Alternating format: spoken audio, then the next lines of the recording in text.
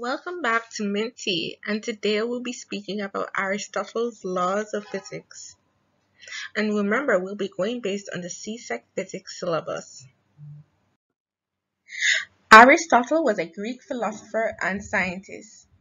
His writings cover many subjects including physics and biology, even music and politics. It was Aristotle who first developed a systematic set of ideas about the physical world which is often referred to as Aristotelian physics. Related to his concept of force is his classification of motion as natural, voluntary, and forced. In sum, for Aristotle, no motion is possible without a force acting on the moving object. Or in other words, motion and force are inseparable, and a moving object is always an effect of some kind of entelechy, either visible or invisible. In his natural motion category, he believed that objects intrinsically either had a tendency to fall which he called gravity, or a tendency to rise into the sky, which he called levity. He thought that heavy objects fall faster because the falling speed is in proportion to the nature or weight of the objects. He believed that earth and the sky are natural places objects would move to according to, to their internal natural tendencies. His theory of voluntary motion refers to the motion of living organisms, who are agents able to exert force to make other inanimate objects move. He stated that non-living objects are obstacles that stop or guide motion, but they do not exert forces.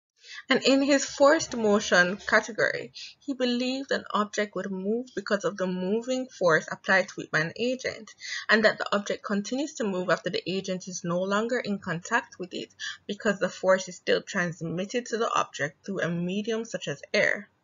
He called this his antiperistasis theory. He believed a force does not move an object unless it overcomes the object's inertia and that in the absence of force, an object would stop immediately. So we know that many of Aristotle's views that I just mentioned were gravely incorrect, and that objects actually do fall at an acceleration which is constant, that we call acceleration due to gravity. So though Aristotle's views, however, were incorrect in many ways, it did help in the development of our laws.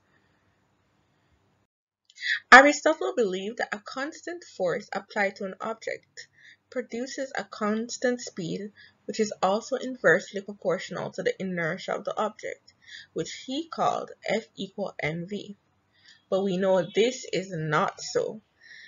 It's actually force proportional to the acceleration of a body, which is Newton's second law, force equal to mass times acceleration. So Aristotle was actually misled into equating force with velocity rather than as Sir Isaac Newton was to show much later with mass times acceleration.